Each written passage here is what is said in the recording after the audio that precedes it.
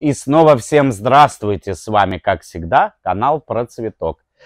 А, таких захотели узнать, да, как зацвести орхидею? Я знал, что вы все-таки сделаете вот это дело и подпишитесь на наш канал. Ну, хорошо, вы, э, скажем так, условно выполнили наши условия, все сделали, поэтому и я не имею никакого права не рассказать вам самый главный секрет как все-таки зацвести пышно орхидею. И здесь на самом деле есть ряд условий, ребята. А, для того, чтобы зацвести орхидею, а, мне нужно рассказать а, в короткий срок лекцию.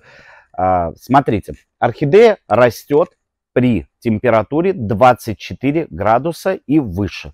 Если в вашей комнатной э, температуре присутствуют данные градусы, скажем так, вот, то тогда ваша орхидея будет прекрасно расти. У нее будет корневая, у нее будет листва. Но для того, чтобы зацвести вашу орхидею, вам нужно будет понизить градус. И о боже, он это сказал. Да, в действительности это так и есть. Вам нужно будет понизить градус до 18.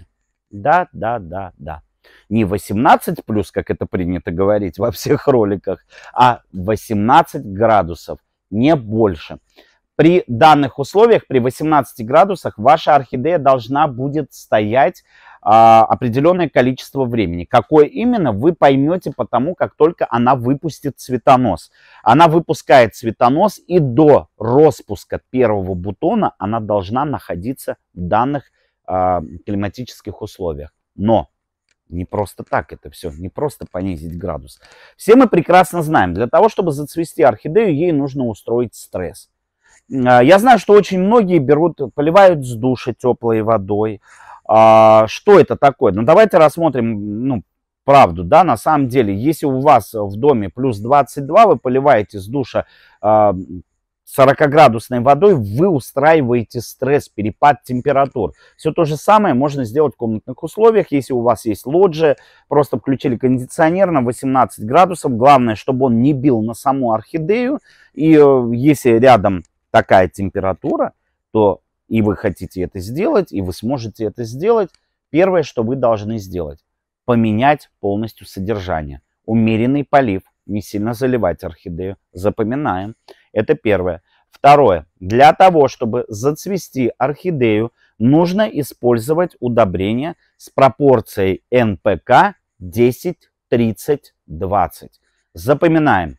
10, 30, 20. Соотношение НПК удобрения, которое вы можете вносить до распуска первого бутона. Как только первый бутон начинает надуваться, и вы понимаете, что он сейчас ну, лопнет, как мы говорим, да, а, и раскроется, вы прекращаете вообще каким-либо образом ее удобрять, и все, и держите в тех же условиях, в которых она была раньше.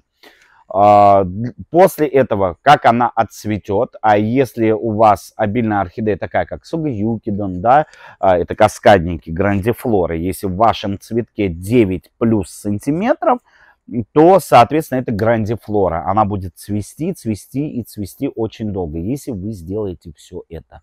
Но никому не рассказывайте обязательные условия, потому что чуть все должны знать ваш секрет, верно? Вот.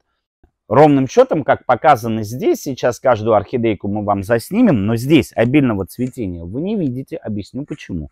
Потому что это в действительности редкие сорта, и большая часть здесь представлена сортов невероятного человека в прошлом, а, человека, который работал на госслужбе, его знают орхидейники как Миту, зовут его Шен.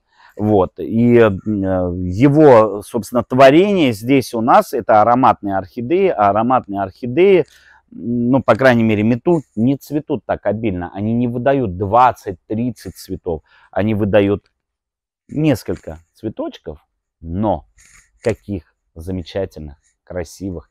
А об этом мы сейчас вам покажем вот поближе. Потому что красоту нужно видеть в лицо.